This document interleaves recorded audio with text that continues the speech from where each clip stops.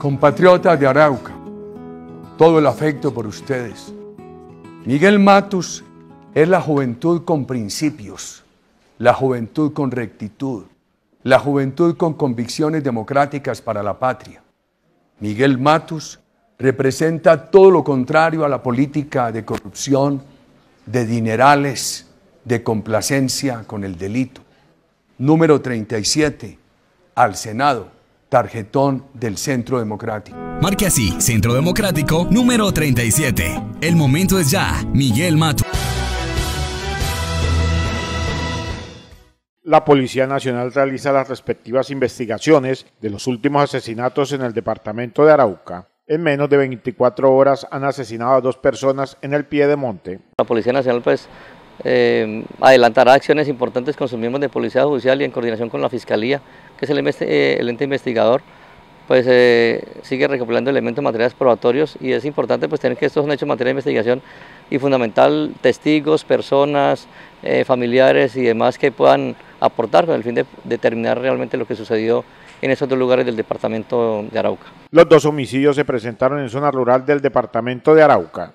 Bueno, como fue en zona rural, se espera es el testimonio, las entrevistas que puedan arrojar algún elemento, eh, las diligencias judiciales para poder determinar exactamente cuáles fueron los móviles, cuáles fueron las circunstancias y sus autores. Los asesinatos se presentaron en los municipios de Arauquita y Fortul. Bueno, tenemos solamente el de la zona rural de Fortul eh, y uno en la zona rural de Arauquita que, pues según eh, lo que determinan algunos pobladores, al parecer llegó por intermedio del río y quedó en la orilla del río Arauca, en el sector rural de Arauquita, pues se espera determinar exactamente en qué lugar realmente ocurrió este hecho y cómo de pronto eh, la corriente del agua pues los trasladó hasta ese lugar. De otro lado, la Policía Nacional logró la captura de dos delincuentes que al parecer habían hurtado un supergiro en Arauquita. Es una acción bastante importante después de una labor eh, profunda que desarrolla la Policía Nacional con su comunidad porque hemos dado cuenta que la solidaridad ha sido muy importante y con base en esta información se pudo lograr establecer la ubicación de estos sujetos. Se les halló unas armas de fuego, un revólver, una pistola, eh, un dinero en efectivo, unos celulares y cerca de este lugar se encontraban unos ah, eh, elementos que hacían alusión al ELN.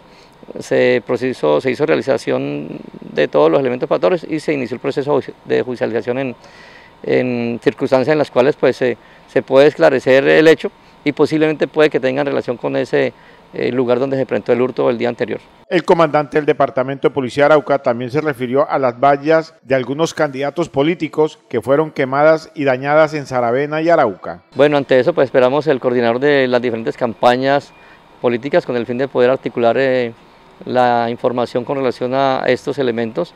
Buscamos que la información sea mucho más detallada mirar los responsables y ante todo hacer un llamado para que estos hechos no se presenten.